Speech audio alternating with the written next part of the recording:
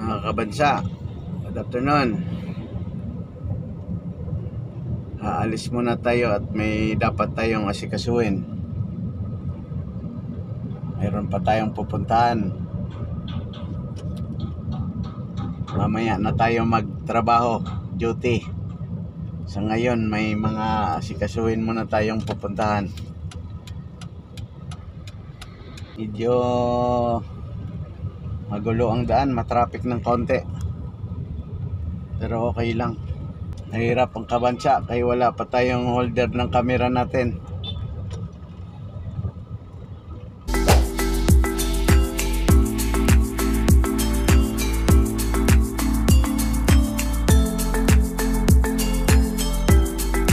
Gagaling sa kalsada kabansa.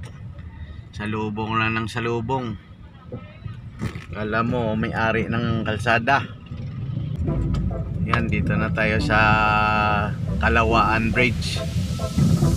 Kabansa. Pasig na po ito, Pasig. Yung Pasig City. Shout out sa mga taga Pasig dyan. Magandang hapon. Sa mabait nyong mayor.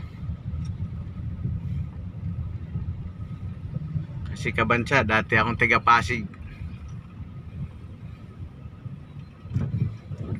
Ngayon, hindi na.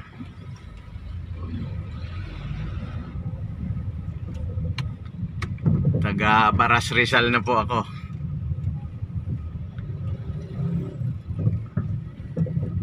Pero gumagala pa rin ako sa Pasig, kabansa. Ayan mga kabansa, oh, daming turo, nagbabantay oh. Ayan. Yan ang pinagkaiba ng city at saka yung mga bayan-bayan lang. Hello, good afternoon mga kabansa. Dito na naman sa atin, dito sa ating channel. Lupin the Estranghero. Ito yung ginawa nating extension nung isang araw ay eh, pagpatuloy natin. Ngayon, ang gagawin naman natin yung extension na para sa ilaw. Kunyari, magpapasko na kasi ngayon, kailangan din yung maliwanag yung mga bahay nyo. Ay kung mayroon kayong kaunting kaalaman sa pag-assemble nito, ganun din yung sistema ng pag-assemble natin nung isang araw sa saksakan. Kaso lang ito, ang gagamitin natin to mga kabansa, hindi saksakan, kundi ano, uh, bukilya, yung rubber socket. Rubber siya para mabilis lang at nakabitin lang siya mga kabansa. Ganito lang din uli yon. Babalatan, kabilang side, balatan mo na, balatan. Yan. Yan na uli, no? Mga kabansa. Tapos, ganun uli.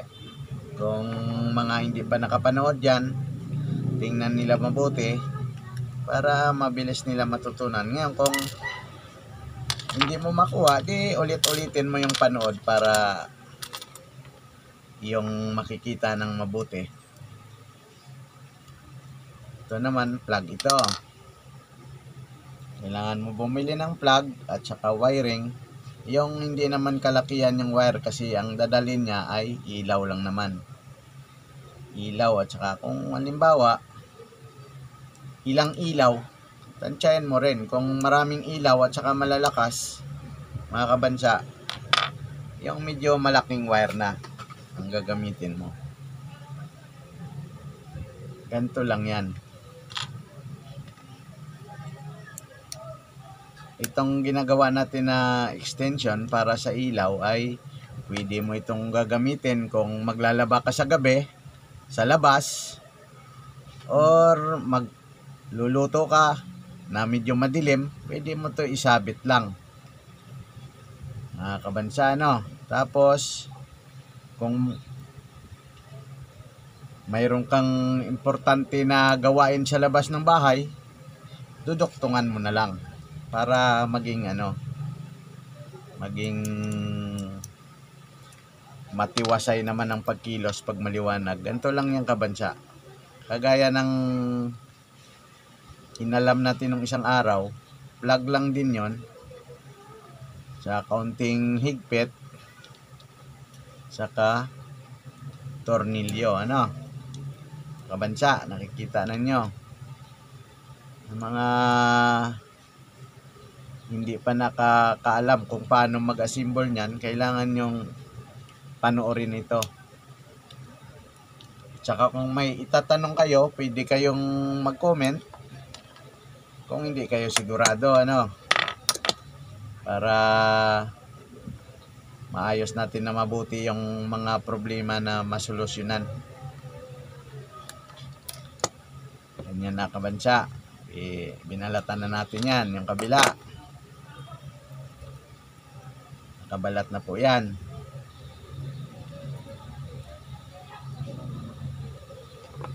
Ngayon, ang gagawin natin, ang binili nyo, plug at saka extension wire at saka rubber plug. Ah, rubber socket. Ganito po. Ganito ang itsura niya ng rubber socket. Ano? Tapos, dodoktungin lang yan ng ganyan. Yan, nakikita po ba? Ganyan. Yan. Tapos kung sobrang haba, puputulin para hindi na masyadong nakakabala. Ganyan po, titiklop. Tsaka, titipan ng maigi. Sa mga electric tape, kailangan yung mga magagandang electric tape, huwag yung mga fake para hindi mabilis ma, ano, matanggal. Ganyan yung kabansa. Oh. Ganyan lang mag-tape. Mga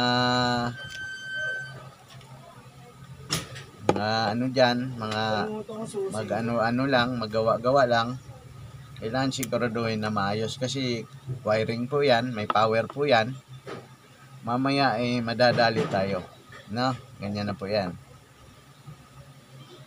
Lagay mabuti.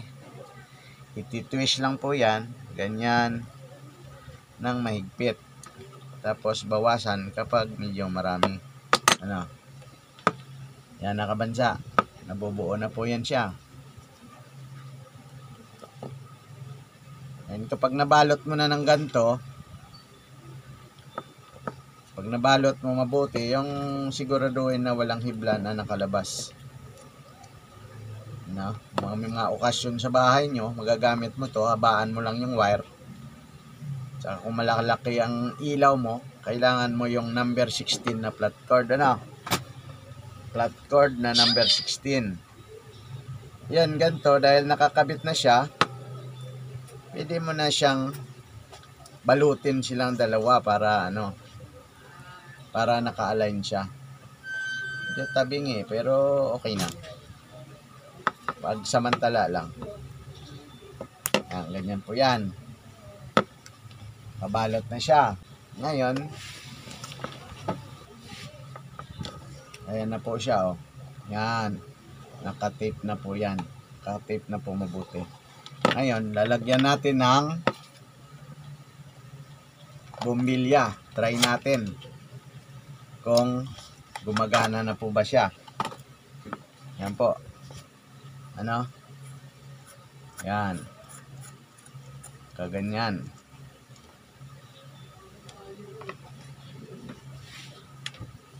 Testing natin para malaman. Ayan po, ang liliwanag na oh. Liwanag siya oh. oh. Okay na. Ngayon, pwede natin to kung kailangan natin maglagay ng ibang ilaw, bumili tayo ng ganto. Ball chain current tap.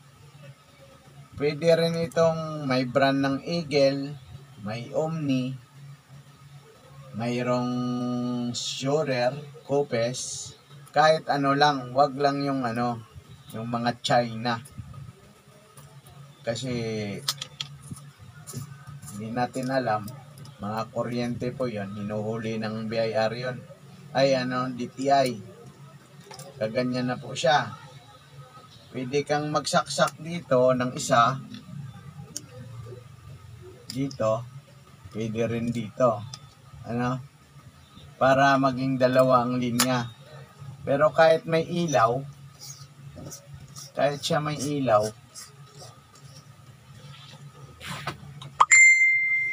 pwede mo siyang saksakan. Ano?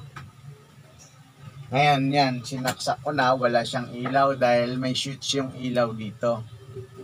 Ganyan po. Oh. Yan, may switch na siya. Pwede siya. Ganyan. Umiilaw na siya. Oh. Ngayon, pwede mong saksakan yung dito abang ano, dito sa gilid na to.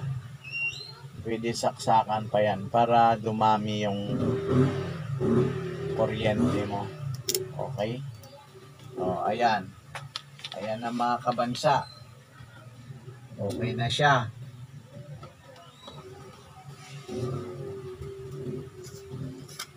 Ngayon, ang kailangan mo lang dito para makabuo ka nito, ilaw, board chain current tap, electric tape, plug, at saka rubber socket. Ano? Okay na yan. Ang sa sunod naman na alamin natin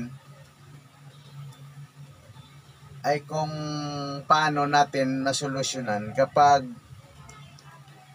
nagkaroon ng mga short circuit sa bahay nyo. Kung ang bahay nyo ba ay naka-breaker o sa switch ang nanggagaling o fuse, naka-fuse siya. Ngayon, eh, yan na lang muna ang binlag natin kasi medyo hapon na. Ano oras na? Mag alas 5 na. Siyempre, labasan na namin. Ah, out na. Ah, saka pala, nakarelo na ako ngayon kasi sweldoan ngayon, Sabado. Shout out pala kay Nimia De Leon dyan sa Nueva Vizcaya. Salamat sa regalo mong relo ha. Galing Saudi pa yan. Yung pinadala mo. Thank you very much at mabuhay kayo. Paki-subscribe lang ng Lopin the Estrangero sa channel ko. Salamat at mabuhay. Stay safe.